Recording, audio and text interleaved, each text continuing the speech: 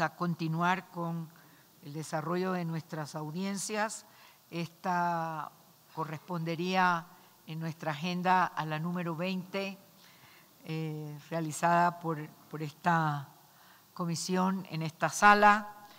Eh, paralelamente, ustedes saben, está el otro grupo de comisionados trabajando también las audiencias.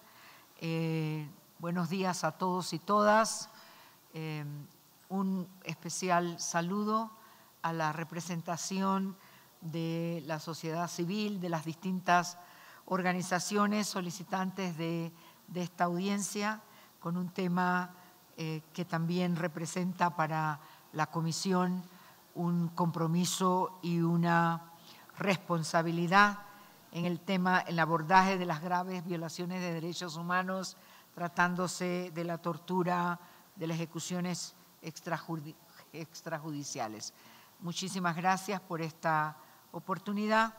Igualmente, nuestro saludo a la representación ante la OEA de la designación que hiciera la Asamblea Nacional de Venezuela en representación del el presidente eh, eh, Maduro, perdón, del presidente Guaidó. Esa es la gran confusión de lo que implica la situación muy subgéneris, decía el representante en, esta, en, la primera, en, la primera audiencia. Pero para nosotros lo importante es poder tener este espacio donde podamos escuchar a la sociedad y una posición de búsqueda para eh, atender la situación de los derechos humanos de todos los venezolanos. Vamos a dar inicio dándole la palabra a la representación de las distintas eh, organizaciones solicitantes. Eh, lo que les voy a, pedir es que se haga una identificación de la organización que ustedes representan para nuestro registro. Muchísimas gracias. Génesis Dávila defiende Venezuela y un mundo sin mordaza.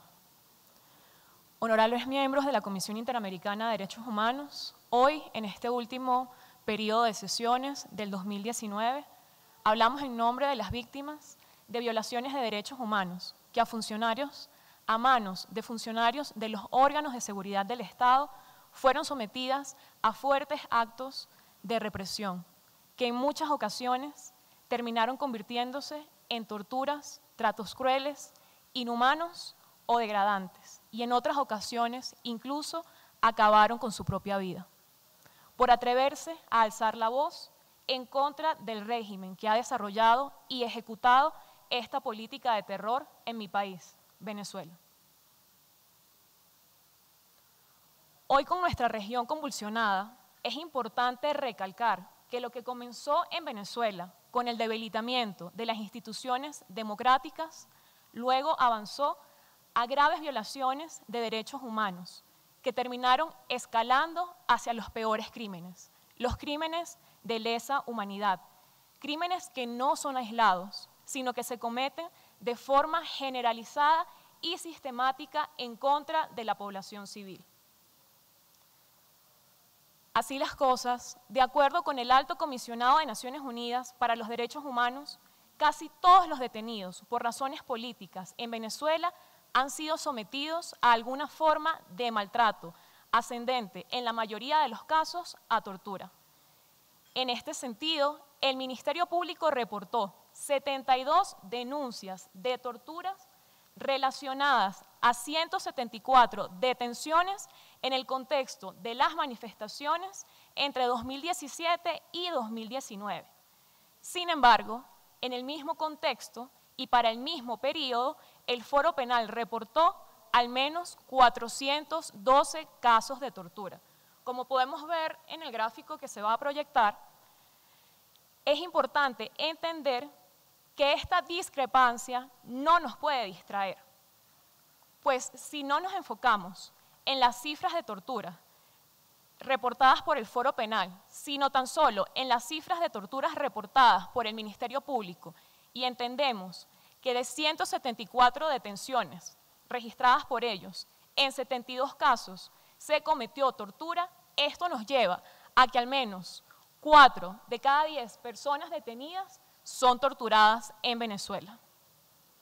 Además, para quienes pudieran pensar que la situación en Venezuela en estos momentos se ha calmado o que la tortura fue exclusiva de las protestas del 2017, los invito a mirar el siguiente gráfico en donde se muestra que fue en el 2017 cuando la tortura se instauró como una política de Estado, pero que ha prevalecido hasta el día de hoy, pues se registra un total de al menos 186 casos de tortura en el 2017, 112 en el 2018 y 114 en el 2019, según las cifras del Foro Penal. Asimismo, como se reportó, esto no solo obedece a violaciones de derechos humanos, sino a crímenes de lesa humanidad porque se tratan de patrones identificados. Patrones en donde el acto de, de, tortura comienza a partir del momento de la detención. En los casos que hemos registrado y cuyas peticiones se encuentran a la mano de la Comisión Interamericana de Derechos Humanos, se reporta claramente que desde el momento de la detención comienzan los maltratos y esto va escalando hasta convertirse en tortura. Una de las historias más dolorosas que hemos visto ha sido la de 15 jóvenes en el estado Táchira que permanecieron más de 15 días en una perrera. En una perrera es en la parte de atrás de un camión que sirve para hacer redadas y recoger a las personas. Esto fue el lugar de detención de 15 jóvenes del estado Táchira, a quienes durante todos los días se le tiraban bombas lacrimógenas al menos tres veces al día. Se les obligaba a orinar en envases y en bolsas, al igual que defecar, y después sus heces y sus orinas eran lanzadas a ellos por los propios funcionarios de seguridad. El testimonio del joven Gabriel Bolaños, quien hoy se encuentra en el exilio por miedo a mayores represalias, señala, nunca voy a diferenciar, a diferenciar cuál fue la peor tortura. Si en las tardes, cuando el calor era insoportable y nos tiraban bombas lacrimógenas por acción del sargento varón en el estado Táchira, quien se mostraba feliz, riéndose mientras nos hacían estas cosas, o cuando nos encontrábamos en la perrera sofocándonos, asfixiados por falta de oxígeno, ahogados por el gas lacrimógeno y siendo rociados con agua para que el químico nos penetrara. No sé si este era el peor momento o cuando en las noches no podía dormir y comenzaba a tener alucinaciones de que llegaba a mi casa y mi madre me recibía.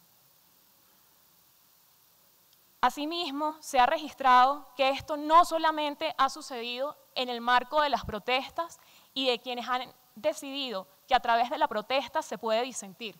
Esto también se ha mostrado respecto a militares que se han alzado en contra del gobierno. Un caso registrado fue el de Luis Alexander Vandré Figuero, documentado por el Foro Penal. En su testimonio se desprende, en la Dirección de Contrainteligencia Militar en, en Boleíta fue en donde me aislaron en un cuarto oscuro. Me aplicaron las peores torturas. Me guindaron de los brazos con una cadena. Fui golpeado con un bate me aplicaron asfixias con una bolsa, me aplicaron corriente, patadas, no sé cuántas veces. Me sacaron inconsciente del cuarto.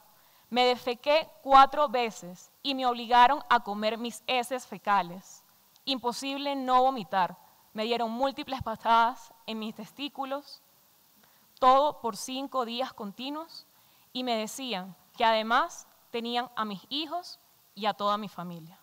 En todo caso, en Venezuela la tortura es un delito de acción pública. Como delito de acción pública debe ser investigado de oficio por el Estado, es decir, no se requiere de la denuncia de la víctima u otro particular. Todo funcionario que tenga conocimiento de un hecho de tortura o de un trato cruel debe denunciarlo de inmediato para que el Ministerio Público comience la investigación del mismo. En el caso, por ejemplo, de Gabriel Bolaños, quien identificó con nombre y apellido, no solamente al que perpetraba los hechos, sino al que lo ordenaba. Este caso no ha sido investigado y esta persona se mantiene en el mismo lugar replicando los mismos actos. Maida Jochevar, Observatorio de Derechos Humanos de la Universidad de los Andes. Las ejecuciones extrajudiciales en Venezuela se han incrementado significativamente en los últimos años. COFAVIC ha documentado 9.960 casos desde el año 2012 a junio del 2019. En el Estado Bolívar, el Observatorio de Ejecuciones Extrajudiciales de la Comisión para los Derechos Humanos y la Ciudadanía registró entre abril de 2018 y enero de 2019 68 víctimas en ese estado. Foro Penal ha documentado desde el 2014 más de 220 asesinatos, entre los que cabe destacar los de los adolescentes Joyfre Hernández, Fabián Urbina y Daniel Kelis y Defiende Venezuela introdujo petición ante la CIDH por la ejecución de Isael Macadán en el estado Anzuategui. Aunque su más reciente informe, la Oficina de la Alta Comisionada de Derechos Humanos de la ONU recomendó al Estado venezolano adoptar medidas para cesar las ejecuciones extrajudiciales, entre enero y junio de 2019 fueron ejecutados por cuerpos represivos en el Estado Mérida Germán Cohen, Rosario Pérez y Wilderman Paredes, a cuyas víctimas asistimos y representamos legalmente. En estos asesinatos cometidos en sectores populares o campesinos, los cuerpos de seguridad incurrieron en uso arbitrario, abusivo e innecesario de la fuerza. En ningún momento las víctimas estaban armadas y no representaban una amenaza para los funcionarios policiales ni para terceras personas. En todos los casos, los funcionarios responsables de la protección de derechos humanos, Fiscalía y Defensoría del Pueblo, desconocieron en sus actuaciones los compromisos internacionales del Estado en materia de derechos humanos. Los actos procesales están plagados de irregularidades y o se difieren injustificadamente, como en el caso de Germán Cohen, estudiante de Derecho de la Universidad de los Andes, asesinado el 23 de enero de 2019, cuando finalizaban las protestas convocadas por el presidente de la Asamblea Nacional, Juan Guaidó. La audiencia preliminar ha sido diferida en cinco oportunidades y transcurridos diez meses del asesinato, este permanece impune. Cuando las ejecuciones tienen lugar en zonas campesinas, es muy difícil incluso que la noticia se conozca y los familiares de las víctimas tienen mucho miedo de hablar, temiendo más represalias.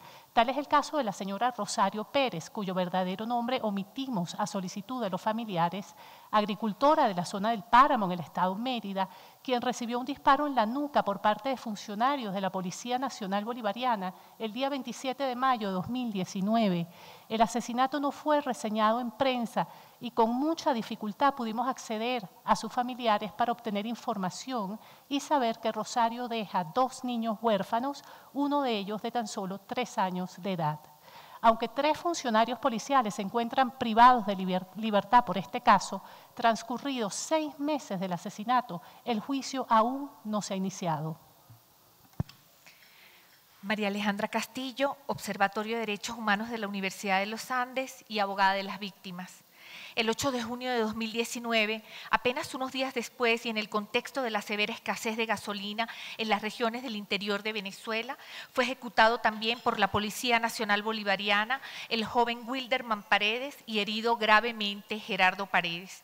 Wilderman Paredes recibió un disparo en el pecho por la única razón de exigir a los funcionarios policiales cesar los abusos en los que estaban incurriendo cuando sin respetar la cola de gasolina llenaban sus tanques una y otra vez.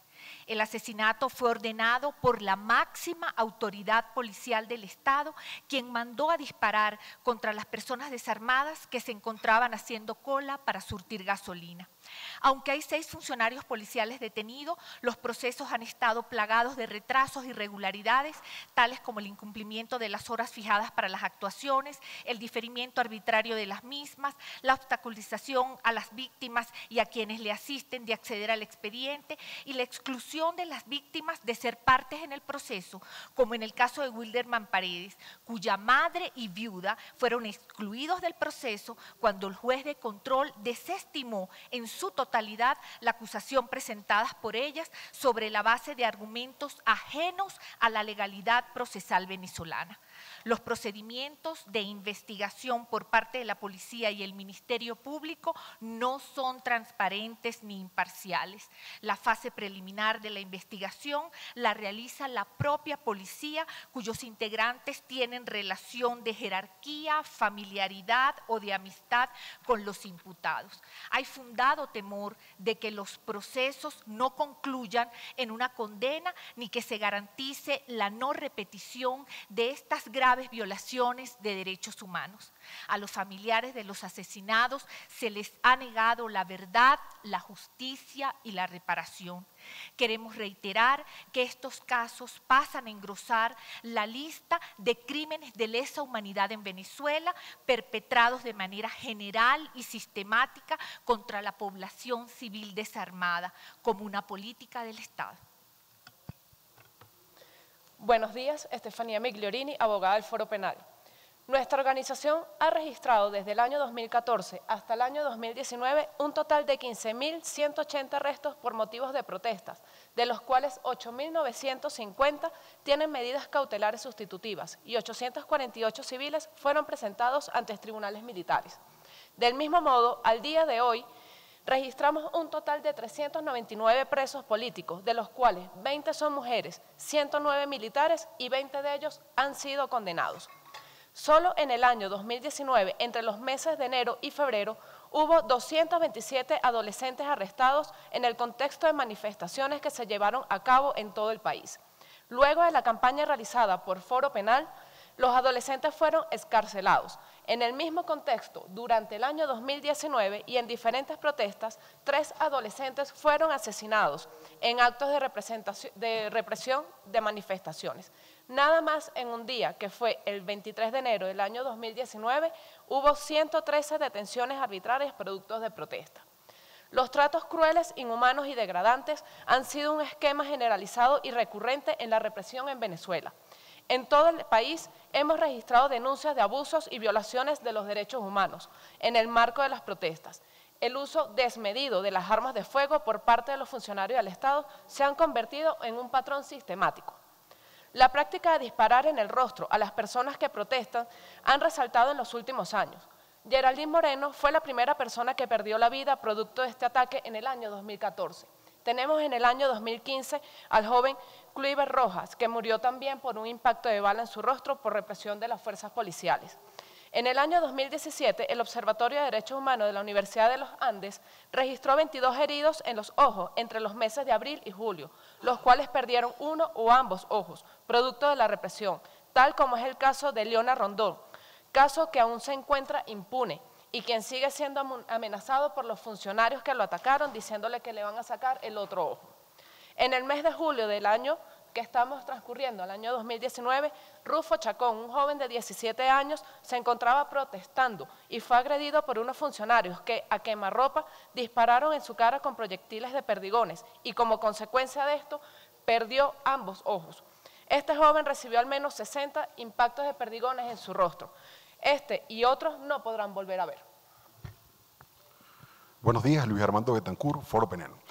De igual forma, tras la exposición de mi compañera Moisés Cordero, de 19 años de edad, el 23 de febrero de ese año, cuando manifestaba de forma pacífica, recibió un impacto de perdigón que le cegó la visión en el ojo derecho.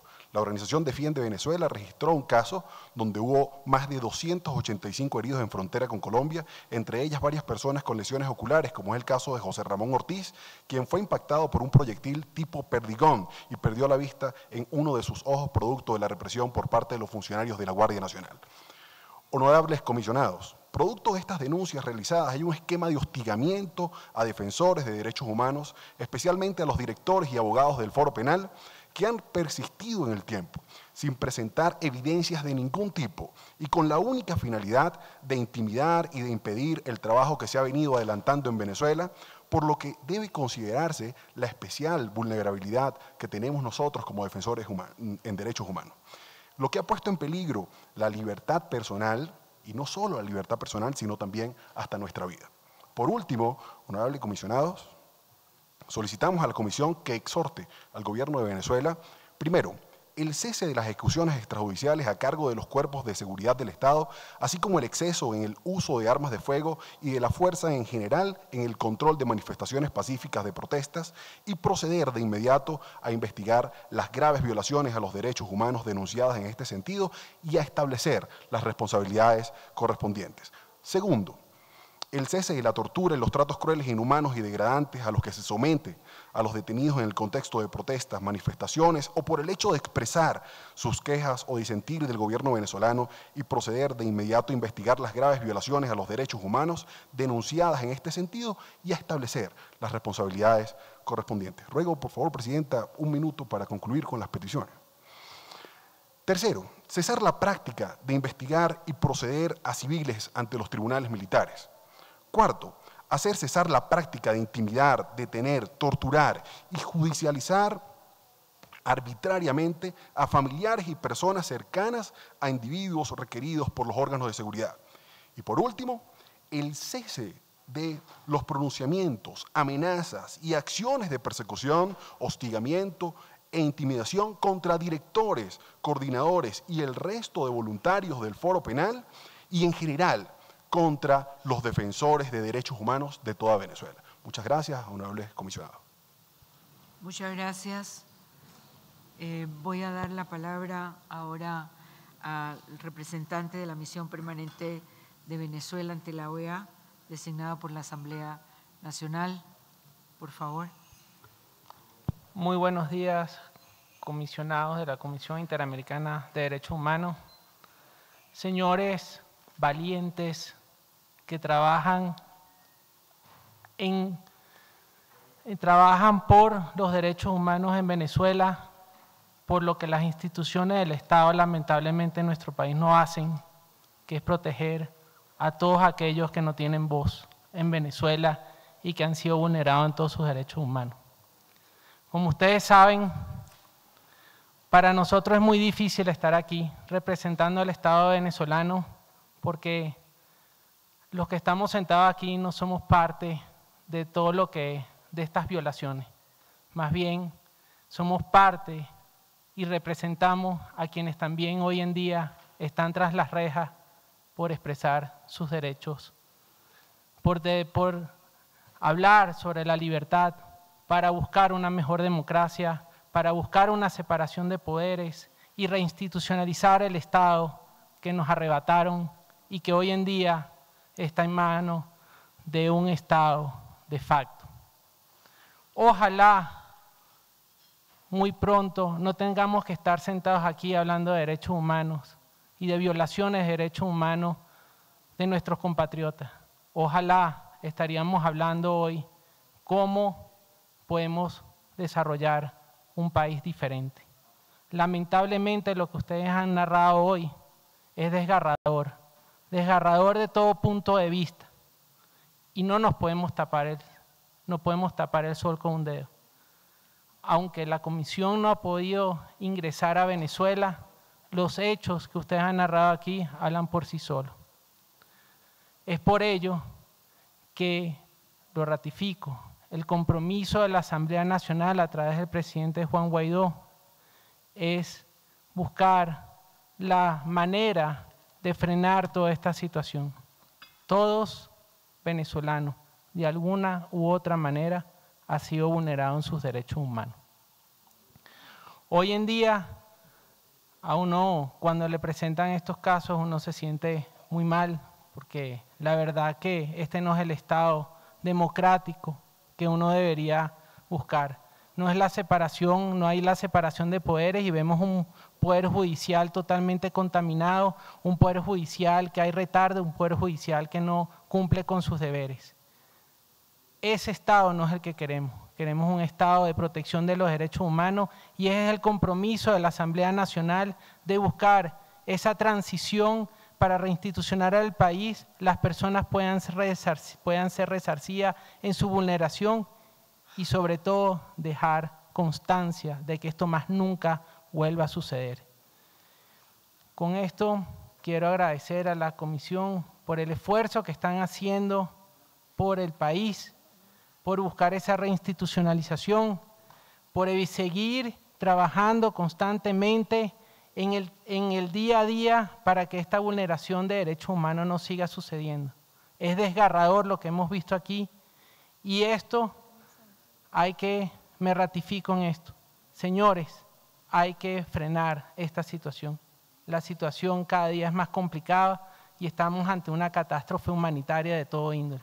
Como lo señalé en la audiencia anterior, la crisis está llegando a todos los niveles, una crisis política, social y económica.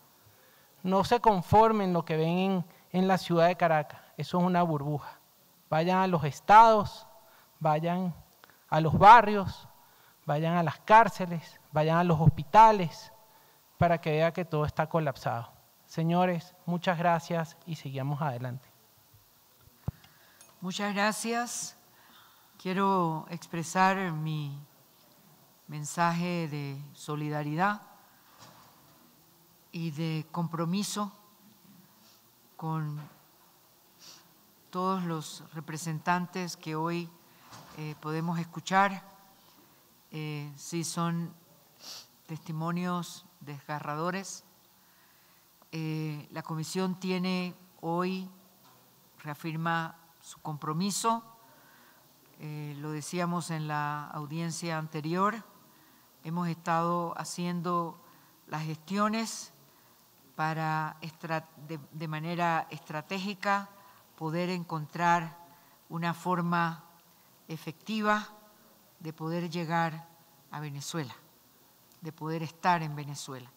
Estamos tratando de ordenar, eh, coordinar con la representación del presidente Guaidó y su eh, equipo en representación ante la OEA para eh, fijar fechas y alguna estrategia en esta, en esta materia de la visita. Voy a darle la palabra al comisionado Joel Hernández. Gracias, Presidenta, pero después de esta presentación creo que me he quedado sin palabras para poder expresar mi, mi mi consternación, mi gran preocupación por la situación que ustedes han venido a, ponernos a nuestra consideración. Realmente es una situación eh, dramática.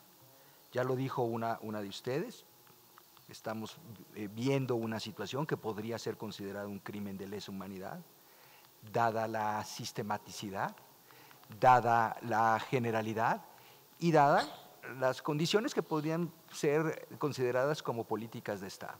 Y todos esos elementos nos hacen pensar que estamos viendo crímenes de lesa humanidad eh, realizado a través de torturas.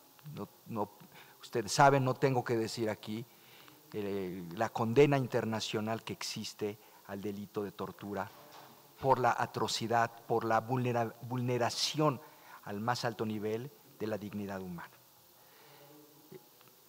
nos refleja también lo que estamos escuchando, una absoluta ausencia del Estado de Derecho. Porque no solamente hay patrones que podrían ser considerados de eh, em, políticas de Estado, sino que además también estamos viendo ausencia de un poder judicial independiente que investigue y que sancione estas, estas, eh, estas eh, graves violaciones a los derechos humanos. Em, Presidenta, yo creo que lo que aquí nos han pedido es este, justamente lo que corresponde, hacer una exhortación al gobierno para que cesen estos actos de intimidación, estas vulneraciones y que eh, puedan haber una debida investigación y una sanción a estas, a, estas atrocidades. Eh, no, no, no, no podemos estar en un en un siglo XXI en donde uno de los países de la región está viviendo esta situación, este patrón tan dramático. Muchas gracias por haber venido con este tema. Eh, refuerza la, la, preocupación, la atención que debe de brindar la Comisión a la situación en Venezuela. La venimos haciendo de manera permanente, ustedes saben, más marcadamente desde 2017, con un informe país que hizo la Comisión y donde ya estaban eh, reflejados algunos de estos hechos, pero lo que hoy, hoy traen a nuestra atención eh, corrobora las conclusiones, pero además nos, nos presenta una situación también de, de, de agravamiento de los hechos. Comisionada Flavia. Muchas gracias, señora presidenta. Buenos días, buenos días a todas y a todos. También mis saludos y mi reconocimiento, la expresión de gratitud por la entrega a la causa de los derechos humanos, por la lucha por derechos, por justicia, por la empatía con el dolor ¿no? que mueve estarmos acá. Entonces, saludos a la sociedad civil a representantes, el representante. Saludos también a la representación de la Asamblea General, de la Asamblea Nacional de Venezuela ante la OEA. Uh, una vez más, tenemos el mismo contexto ¿no? que la audiencia que hace pouco tivemos, e também tivemos ayer outras audiências com outros países, e a situação do direito à protesta, o direito à manifestação, à expressão, e a resposta repressiva, institucionalizada, opressiva do Estado, com excesso, com arbítrio, com abuso, com desproporção. E aí generando graves violações, neste caso, execuções extrajudiciais, torturas, graves violações. Eu comparto com a visão um, apresentada por meu colega Ruel, é uma situação clara de violência, violação sistemática, grave, generalizada de los direitos humanos. Ou seja, há um contexto aí ah, dramático. E, sobretudo, o tema da tortura, que eu, em minha, ah, interpretação, todos os direitos humanos são relativos, são passíveis de flexibilização, mas há dois: o direito a não sofrer tortura, o direito a não sofrer esclavitud, que aí são direitos absolutos. Nada. Guerra, tampouco instabilidade política, emergência pública, nada pode justificar. Ou seja, ah, se há um consenso internacional com o tema de ius cogens, direito no, inderrogável, existe a proibição absoluta de la tortura, que además refleja a perversidade do Estado, que de garante de direitos se transforma em assassino, em delinquente, ah, em violador grave de los direitos humanos. E eu tinha, eu tenho duas perguntas. A primeira é, tivemos aqui no los dados, 2017, uma política institucionalizada de, institucionalizada de tortura, 186 casos, de acordo com o informe do Foro Penal. Não? Em 2018, 112 casos. Em 2019, 114 casos. Mi pergunta é quantos, em, aqui com a preocupação do dever do Estado, investigar, de processar, de punir e reparar, neste universo, tendo em conta este universo, temos a total impunidade, o silêncio, a indiferença estatal, ou há respostas? Há casos, ao menos 5%, 10%, há, há algum universo de casos juzgados, há respostas emblemáticas ou não.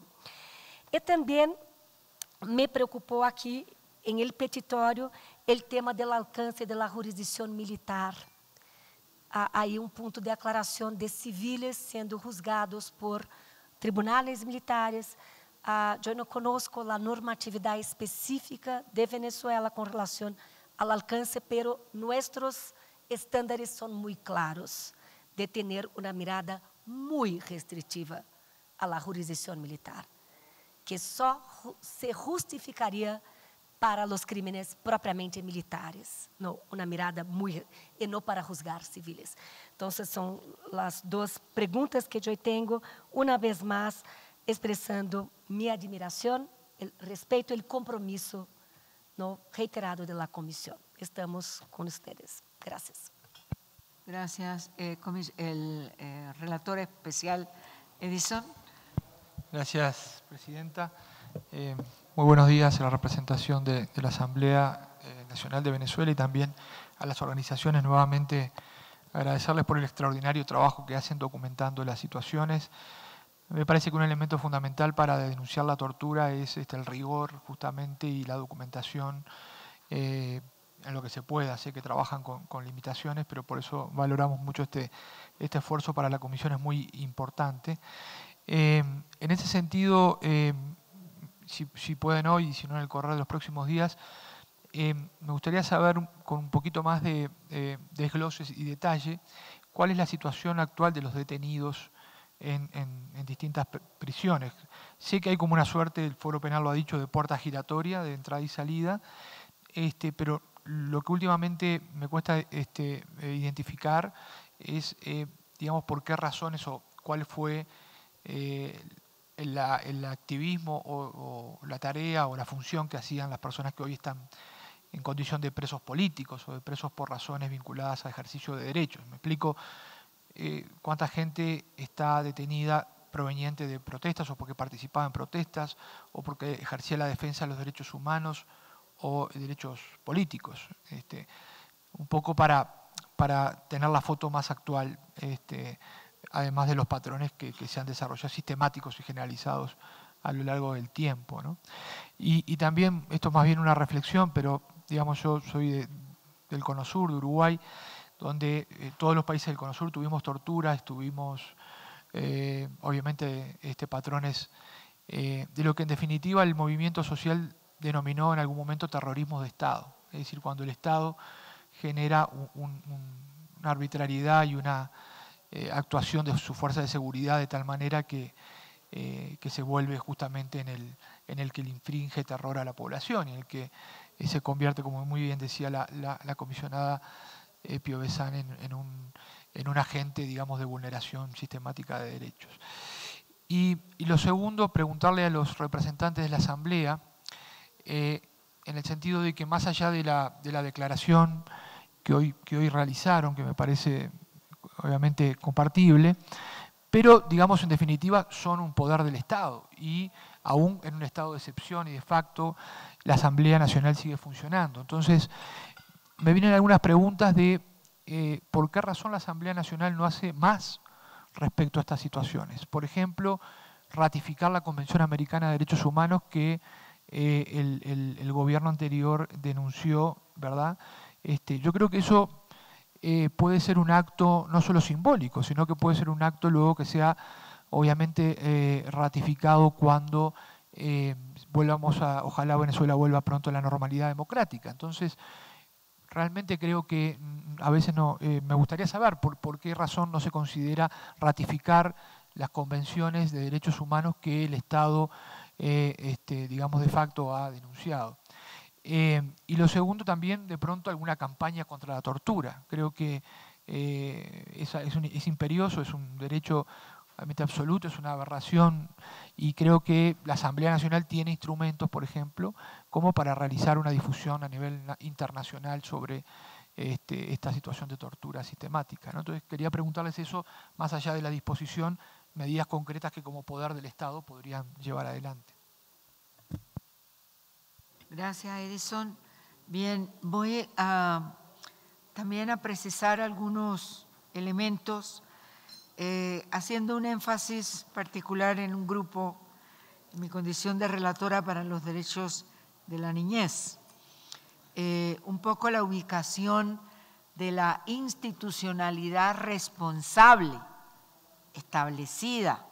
Hay una ley de eh, un organismo responsable de la protección integral de los derechos de niños, niñas y adolescentes, un sistema de protección. Este, eh, este organismo, esta entidad, ¿qué, acciones ha tomado con respecto a eh, la situación que ustedes manejan con información muy puntual? Eh, la ejecución extrajudicial de, no sé si son 25 adolescentes, me gustaría tener esas cifras de una manera eh, segregada para el manejo de, la, de esta información. Eh, los adolescentes en, tortura con una situación de, real eh, violación de, todos los derechos y el tema de, la dignidad humana.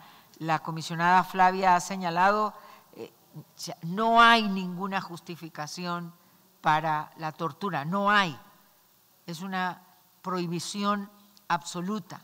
Por eso, porque afecta o impacta directamente en la dignidad humana, además de todos los otros derechos violentados. Entonces, nosotros manejamos una cifra de ejecución de más de 8 mil personas en el, del, 2014 a, la fecha. Ustedes tendrían una información de, eh, segregada para eh, la, la situación de los adolescentes que han sido ejecutados y que han estado en esta condición de tortura. Eh, eh, estamos viendo en, el continente este, esta fórmula, este patrón de disparar a los ojos. entonces, eh, hay, hay, una situación en la que esto nos llama a una reflexión muy, muy especial. ¿Por qué, ¿Por qué se está haciendo ¿Por qué se hace esto?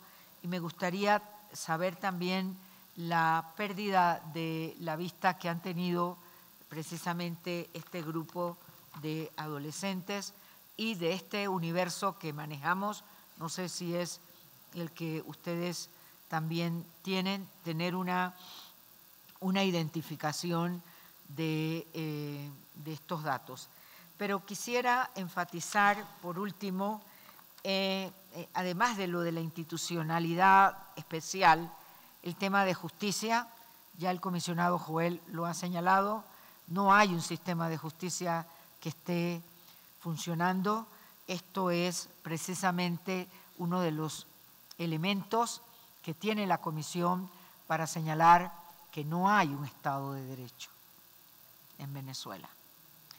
Y el llamado a, la sociedad venezolana a unir, a unir sus fortalezas eh, y, su, y su vocación por, por justicia y por derecho, para regresar a Venezuela a, una, a, un mundo y a una sociedad democrática. Realmente yo estoy muy impactada por la información recibida. Eh, no podemos concebir que en un siglo XXI nuestras sociedades, nuestra gente tenga que vivir estas cosas.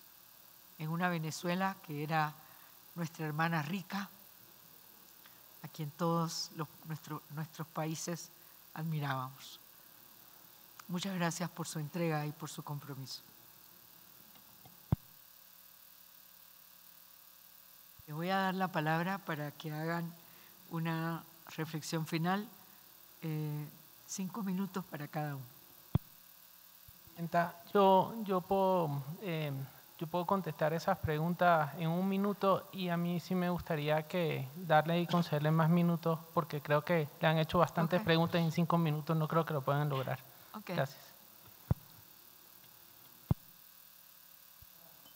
Muchísimas gracias. Eh, Evidentemente, como lo mencionó el comisionado Joel, en Venezuela no solamente no existe un Estado de derecho, tampoco existe un Estado de justicia, no existe un Estado social.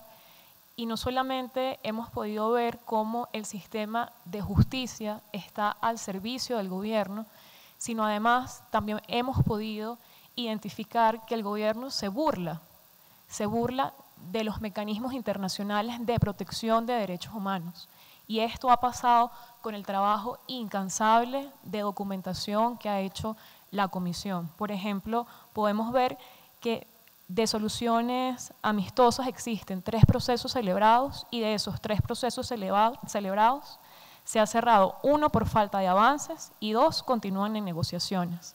Por ejemplo, de las medidas cautelares, se han otorgado 67 y ninguna se ha levantado porque ninguna se ha ejecutado.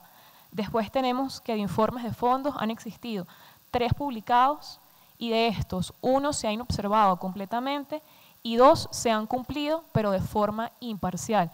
Y finalmente, de las recomendaciones que hay en los informes país respecto a Venezuela, en donde se hicieron más de 400 recomendaciones, hay un incumplimiento de cuatro de cada cinco.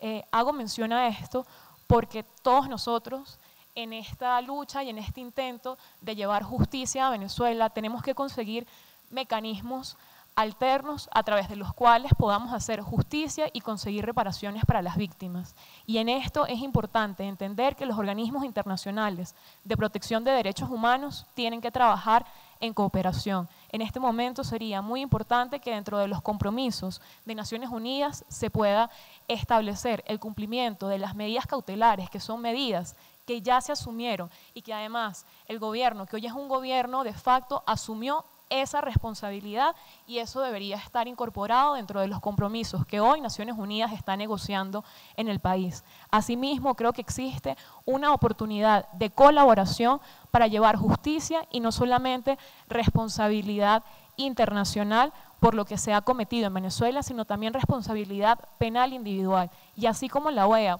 pudo documentar y levantar un informe sobre el posible cumplimiento de crímenes de lesa humanidad en el país, creo que la CIDH ha hecho una documentación mucho más efectiva que cualquier organismo internacional de derechos humanos y si esta documentación se estudiara y se desglosara, se pudieran identificar muchísimos patrones que pueden aportar a esta investigación y a la justicia que se lleve a Venezuela. Sí, bueno, quería hacer mención que preguntaban sobre la, indiferencia del Estado, la indiferencia de los órganos eh, de defensa que se, deberían ser de, defensores de derechos humanos, como la Defensoría del Pueblo.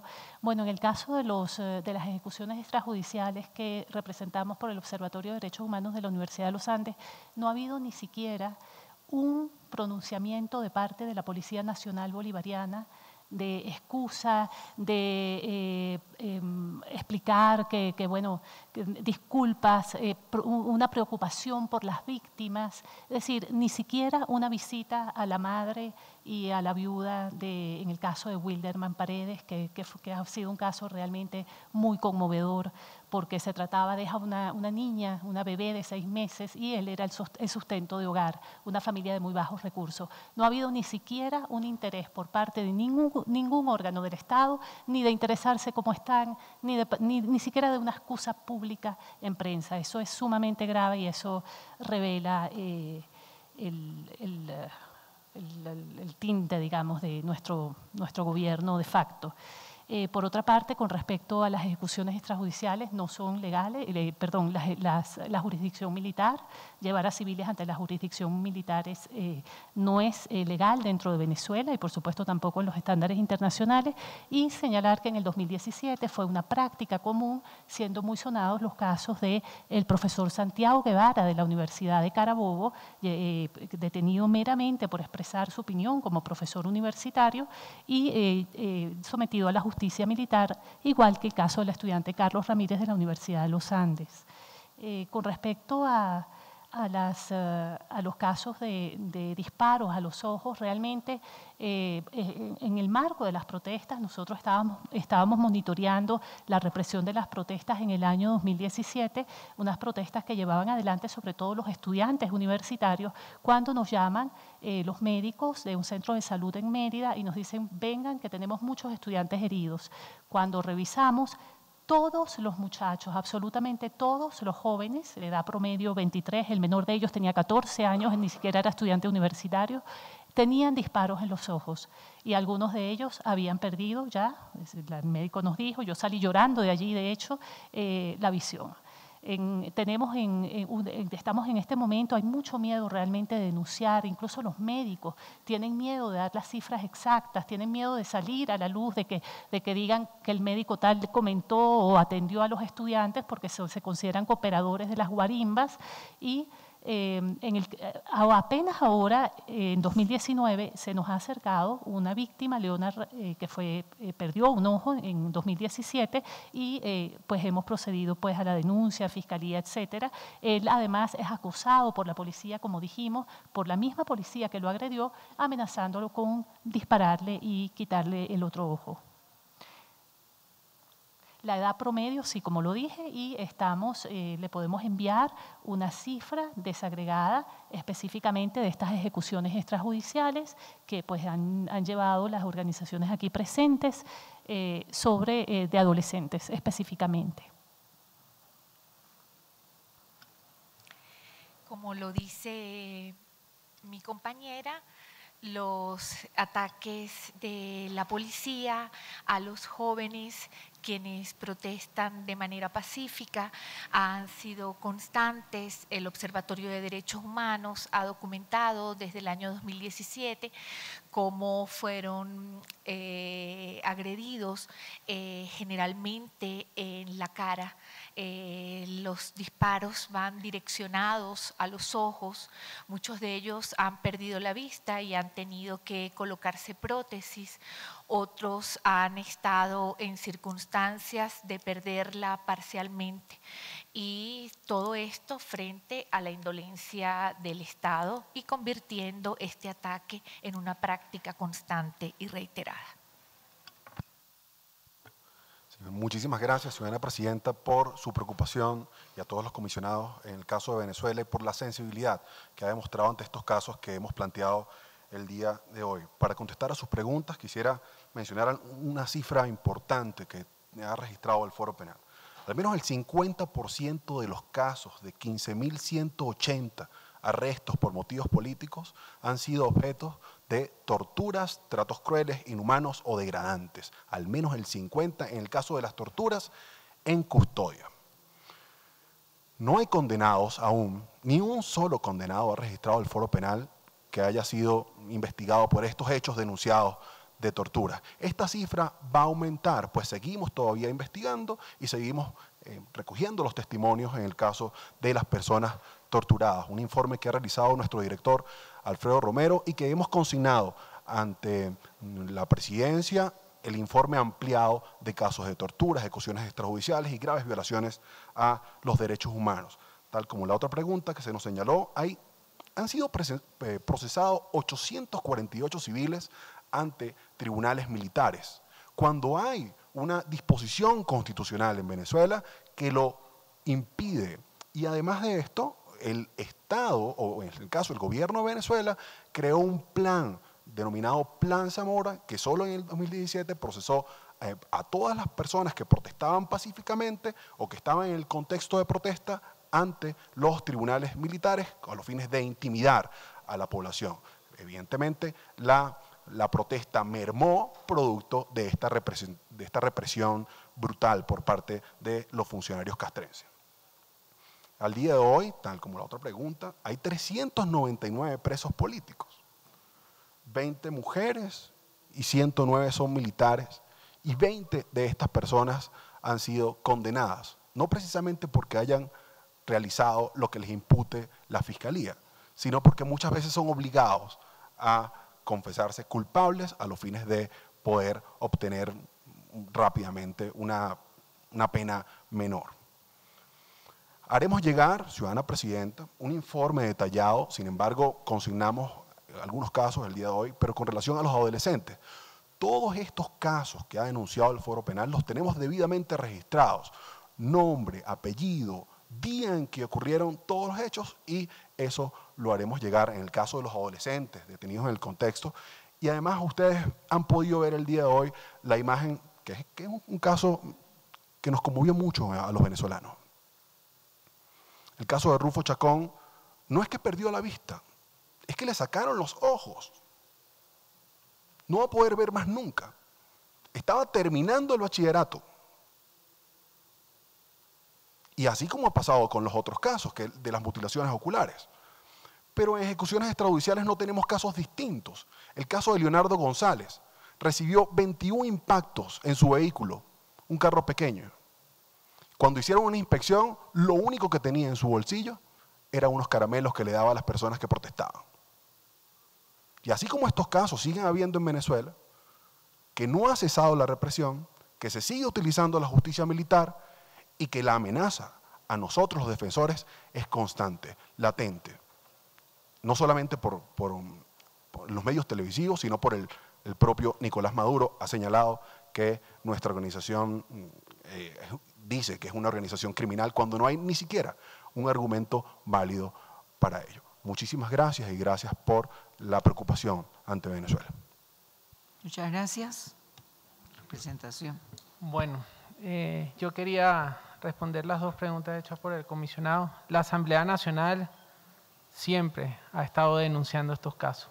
No hay ningún caso que no haya estado denunciado, que no hayan trabajado en conjunto con las organizaciones sociales en busca de transmitir en cada foro internacional donde participa la violación de estos derechos humanos. Y no solo eso, y no solo eso, sino es que los miembros que forman la Asamblea Nacional también son perseguidos políticos, también son presos políticos, también son víctimas de su violación de derechos políticos. Como lo acaba de decir aquí, tenemos más de 300 presos políticos hoy en día. Y entre ellos tenemos alrededor de 23 asambleístas, exiliados fuera del país, porque todos perdieron su inmunidad parlamentaria y todos son perseguidos políticos en Venezuela. Entonces, decir que no hemos trabajado en pro de, esta situación es todos los días se hace y, se, y si usted ve cómo comienza una, eh, una sesión de la Asamblea Nacional, siempre se habla de este tema todos los días. Pero más allá de eso, de presos políticos y, y, torturas extrajudiciales, no es menos cierto que los hospitales venezolanos también se mueren pacientes porque no hay insumos suficientes para atender. Se mueren bebés, niños, adolescentes, señores mayores porque no pueden adquirir eh, eh, sus medicamentos o enfermos terminales. Todo está debidamente documentado, todo está trabajándose. En cuanto a seguir firmando protocolos, es parte de lo que se está haciendo, pero el trabajo de la Asamblea es bien complejo un día en la Asamblea Nacional, se están viendo mil casos y mil cosas que no es lo que hace una Asamblea normalmente. Una, una, una Asamblea Nacional legisla. Hoy en día la Asamblea no solo tiene que legislar, sino también tiene que ser gobierno y adicionalmente es perseguida políticamente. Entonces, y es la única institución del Estado donde hay lo que podríamos decir un pseudo Estado, porque no hay separación de poderes y ese, ese, ese poder del Estado es demasiado fuerte y muchas veces denunciado que el Estado venezolano del presidente Guaidó no tiene cómo confrontar todas estas agresiones que se viven a nuestros compatriotas. Muchas gracias. Muchas gracias. Bueno, vamos a dar por terminada la, esta audiencia, reiterando nuestro agradecimiento y nuestro mensaje de solidaridad con todo el pueblo venezolano. Muchas gracias.